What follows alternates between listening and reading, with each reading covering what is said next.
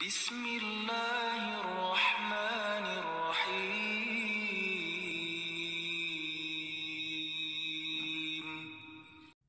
Demi Allah, siapa yang jujur dalam menyampaikannya, ya saya bersumpah dengan nama Allah, demi Allah tidak ada Al-Fatihah setelah sholat lima waktu. Yang ada dari Nabi setelah sholat lima waktu, silahkan buka Sahih Bukhari, Sahih Muslim, Sunan Abi Daud, Sunan Tirmidzi, Sunan Ibnu Majah, dan seluruh kitab hadis serta seluruh kitab fikih, baik fikih Syafi'i, Hambali, Maliki, Hanafi, ataukah Al-Fiqhul Muqarram, fikih perbandingan madhab. Yang ada setelah sholat lima waktu, Nabi setelah salam istighfar thalatha, kata Abdullah bin Abd. Istighfar tiga kali. Allah, astaghfirullah, astaghfirullah, astaghfirullah.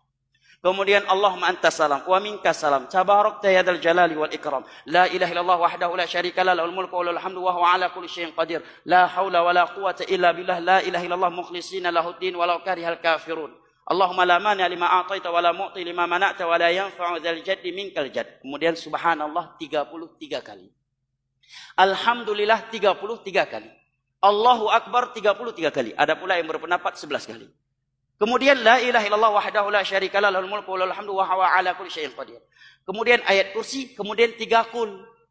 Khusus pada maghrib dan subuh membacakan la ilaha illallah wahdahu la syarika lahul mulku wa lahul hamdu yuhyi wa yumiitu wa huwa ala kulli syai'in qadir 10 kali. Dan khusus subuh Nabi juga membacakan Allahumma inni as'aluka ilman nafi'an wa rizqan thayyiban wa amalan mutaqabbala. Demi Allah tidak ada paket Al-Fatihah atau salawatan setelah zikir salat lima waktu. Ini yang datang dari Nabi. Buktinya buka seluruh kitab hadis dan seluruh kitab madhab.